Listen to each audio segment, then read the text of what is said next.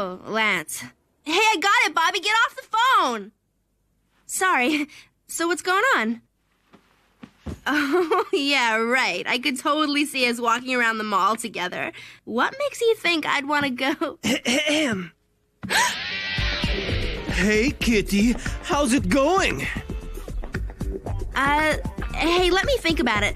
I'll call you back. what have you done to yourself? Eh, I've been working out.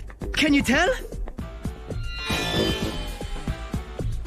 Oh, bummer. You shouldn't be messing with your image inducer, Kurt.